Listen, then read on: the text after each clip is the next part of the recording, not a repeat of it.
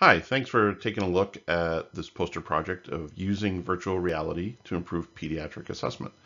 My name is Mark Minkler. I'm the EMS for Children Program Manager here in Maine, and I'm going to kind of give you a little background to what this project is about and what this poster represents. So part of uh, the EMSC performance measures, as we know, is performance measure three, which is the correct use of pediatric equipment. And while we were looking at what equipment and what would be the process for helping to ensure services had the tools to correctly demonstrate the use of this equipment, we discovered that there was a lot less equipment being used than we thought. What we were finding was that every patient was receiving an assessment, but very few required or needed equipment to actually be implemented. So looking at what our greatest needs were, providers talked about how they weren't sure how to assess kids, they were uncomfortable with this, and they had not received extensive education both initially or continuing around presentation of children and decision making with this. So we looked at was there opportunities to do this, and we looked at utilizing mannequins, we looked at using recorded scenarios, YouTube videos, things like that.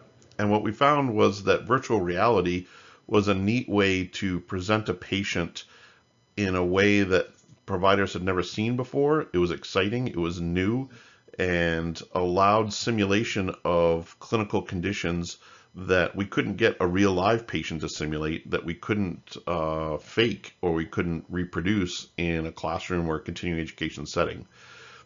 So the virtual reality allowed people to enter into this low risk or essentially no risk to the patient scenario and see and hear and be completely immersed in a scenario that involved mainly young children under the age of five and make decisions about that and then receive feedback about their performance, how they did that day, but also track them over long term.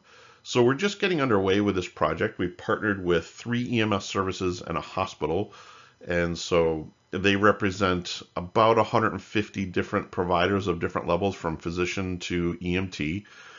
And they're going to use the virtual reality scenarios, and there's approximately 11 scenarios that they can be faced with. And they'll go through the steps of making decisions about what the patient presents at using the pediatric assessment triangle. It will record their performance, takes about 20 minutes for them to do and we'll come back with these partnering agencies and hospital to give them quarterly reviews to see if there's changes on how they perform, if there is increased comfort through an affective survey of how they feel, if they've seen pediatric patients, if they've uh, faced any decisions that this has helped them with.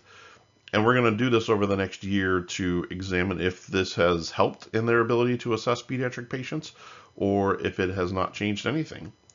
We're also working with individual services across the state of Maine to do one-off trainings where we come in for typically a training night and let the providers at that service experience this and utilize it.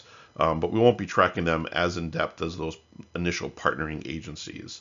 So hopefully within a year, we're going to have some really interesting data to see performance and relate that to uh, providers' comfort level with assessing pediatric patients and see if this technology will help improve the aspects around pediatric assessment. And although it doesn't address an equipment uh, specifically, it does help in the process of deciding which equipment might be utilized during the patient care.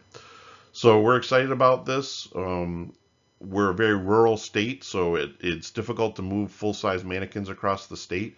The reality is, is that if you're in Portland, Maine, you can drive to Fort Kent at the top of Maine in about the same amount of time as it takes you to drive to New York City. So the movement across the state and access is important to us. We can ship these across the state very reasonably cost. And we hope that it'll afford opportunities for people that haven't been exposed to a lot of pediatric patients to improve that so that when they do have to manage a pediatric assessment and pediatric decisions, they'll have more equipment, more experience, and more knowledge to do so. Thanks again for taking a look and uh, enjoy the poster.